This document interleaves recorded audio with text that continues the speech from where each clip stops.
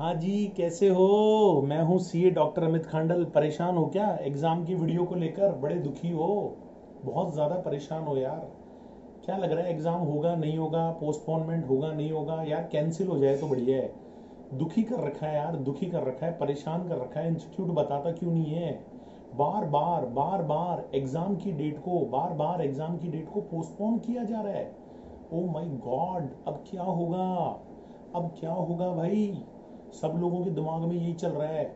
आज पता है यार, मैंने बहुत सारे वीडियोस देखे एग्ज़ाम के पोस्टपोनमेंट को लेकर। मैं तो बड़ा परेशान हो गया, मैं तो बड़ा दुखी हो गया। मैंने कहा, यार, ये करना क्या है? ये चाहते क्या है सब लोग? एग्ज़ाम करवाने, नहीं करवाने, दुखी कर रखा है यार, बहुत परेशान कर रखा है।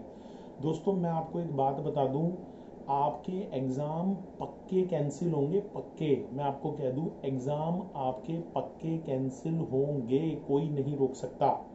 क्यों नहीं रोक सकता? मैं बताऊँ आप लोगों को। इसलिए नहीं रोक सकता। संक्रमण बढ़ता जा रहा है, संक्रमण बढ़ता जा रहा है। पता है आप लोगों को कितने नंबर ऑफ़ केसेस आ रहे हैं?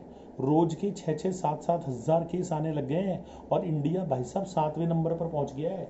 आपने न्यूज़ देखी क्या? इंडिया वर्ल्ड में सातवें नंबर पर पहुँच गया है। आप क्या सोच रहे हो? भाई साहब, स्थिति बड़ी खतरनाक होने वाली है। सिचुएशन बड़ी खतरनाक होने वाली है, बड़ी खतरनाक मेरी बात को मैं आपको बता दूँ।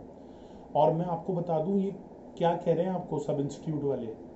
अभी मैंने देखा प्रेसिडेंट साहब ने कहा कि भाई हम सोशल डिस्टेंसिंग रखेंगे। यार उनका कहना सही है, देखो। मैं आपको एक बात बताऊँ दोस्तों, अगर आप अभी प्रेसिडेंट होते ना, आपके सामने भी यही प्रॉब्लम होती। यार वो आपको एकदम से कैसे बोल दे कि एग्ज़ाम कैंसिल हो जाएँगे आपके? कितनी दिक्कत होती है पता है आप लोगों को? अब ये जो छः महीने हैं ना सिक्स मंथ्स दोस्तों, ये जो सिक्स मंथ्स हैं मई और जून इसके बाद में एग्ज़ाम होंगे नवंबर दिसंबर में। पता है आपको? इस छह महीने के चक्कर में आगे का पूरा साइकिल खराब होने वाला है। प्रेसिडेंट साहब को बोलने में दिक्कत है। भाई, वो नहीं बोल सकते, आप समझो। आप सीए का एग्ज़ाम दे रहे हो सीएस का दे रहे हो सीएमए का दे रहे हो, मैं पक्का बता दूँ, आपके एग्ज़ाम कैंसिल होंगे। आने वाले एक महीने में, आने वाले दो महीने में इतना खतरनाक सिचुएशन होने वाला है इंडिया में। मैं आपको डरा नहीं रहा हूँ, दोस्तों। मैं इतना सा कह रहा हूँ, यार, पढ़ाई पर फोकस कर लो आप। आप परेशान मत हो। अच्छा मैंने देखा यार, बहुत सारे लोग, पता है क्या बोल रहे हैं यूट्यूब पर वीडियो बना बना के? भाई, आपको वैसे भी देखो, एक ग्रुप तो देना ही था, और एक ग्रुप आप नवंबर में देते। तो आप यार, पढ़ाई करो ना, आप तो ये मानो जी दोनों ग्रुप देने पता है, बच्चों के दिमाग पे क्या बीत रहा है? अरे यार, मई, जून में एक ग्रुप देना था, दूसरा जो है नवंबर दिसंबर में देना था। अब दिमाग लगेगा क्या? आप बताओ। अरे, जो ग्रुप मुझे नवंबर दिसंबर में देना है उसमें मैं अभी से दिमाग कैसे लगा दूँ? परेशानी है, दिमाग में भाई साहब एंजाइटी बनी हुई है। बच्चे बड़े परेशान हैं मैसेज पर मैसेज आ रहे हैं। बहुत सारे लोगों ने तो फ़ोन तक कर डाले। सर, बताओ ना एग्ज़ाम का क्या होगा? दोस्तों, मेरे भाई, मैं कोई अंतर्यामी नहीं हूँ, भगवान नहीं हूँ, लेकिन मैं आपको बता दूँ, मेरा सिक्स सेंस क्या? मैं मतलब एक नॉर्मल आदमी भी बता सकता है, आज की सिचुएशन देखिए आप। इंडिया में कम्युनिटी ट्रांसमिशन बढ़ता जा रहा है। कम्युनिटी ट्रांसमिशन फ़ेज़ में आ गया इंडिया भाई साहब। कम्युनिटी ट्रांसमिशन समझते हो क्या? एक आदमी में हो गया, हज़ार में फैला देगा जाके। और मैं बता दूँ, अपने जो, ये जो कॉलेज होते हैं ना, जहाँ पर एग्ज़ाम करवाए जाते हैं, वहाँ पर कैसी स्थितियाँ होती है? कितनी डिस्टेंसिंग रख लोगे भाई साहब? आपकी जो तबीयत है, आपका जो स्वास्थ्य है ना, इससे बड़ी कोई चीज़ नहीं है। आप टेंशन मत लो, मैं सच बता रहा हूँ एग्ज़ाम आपके कैंसिल होने वाले हैं। आप मानो या मत मानो, और मैं आपको बता दूँ दोस्तों, आप यार टेंशन मत लो, आप इस समय मस्त हो जाओ। ठीक है, स्टडीज़ करो, जो ग्रुप आपने भरा है ना, उसी पे फोकस करो। दूसरे ग्रुप पर फोकस मत करना, मैं बता देता हूँ। एग्ज़ाम चाहे नवंबर में हो जाए, कोई दिक्कत नहीं है, आपने जो ग्रुप का भरा है, उसी पर फोकस करो आप। आप दोनों ग्रुप के चक्कर में मत पड़ो, मैं सच बता रहा हूँ, आपका कंसंट्रेशन खराब हो जाएगा। हाँ अगर आपने भरे ही दोनों ग्रुप है यार, दोनों ग्रुप की कर लो तैयारी क्या दिक्कत आ रही है उसमें ऐसी?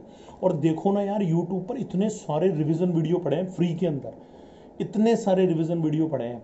इतनी सारी अमेंडमेंट क्लासेस पढ़ी है। मैं दिन रात एक करके एक एक अमेंडमेंट क्लास एक एक रिविजन वीडियो आप लोगों के लिए बना रहा हूँ यार। क्यों नहीं देखते हो आप उनको? प्लीज़ देखो। लाइव सेशन देखो। बहुत सारे पॉजिटिव वीडियोस आ रहे हैं। देखो तो सही यार उनको। इंजॉय करो उनको, है ना? मस्त रहो। कोई टेंशन नहीं है यार। एग्ज़ाम होगा, नहीं होगा। दिमाग पर इतना प्रेशर लेके काम नहीं होता यार। दिमाग पे प्रेशर मत लो आप लोग। बहुत परेशान करेगा ये आप लोगों को।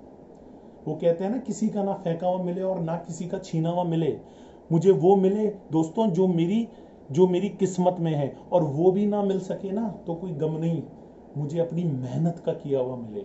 तो दोस्तों, मेहनत करो हार्डवर्क करो, फालतू चीज़ें मत देखो और फोकस करो पढ़ाई पर, है ना? थोड़े नंबर ज़्यादा आ जाएँगे आप लोगों के, ठीक है?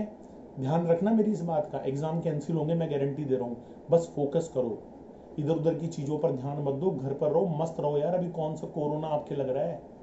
टेंशन फ्री रहना, है ना?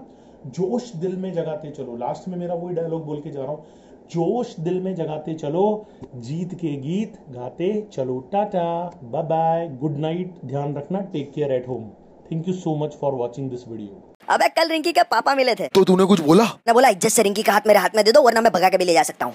फिर क्या हुआ? चट देनी मार देली खींच के तमाचा। ही ही ही ही हंस दिल रिंकिया के पापा ही ही ही।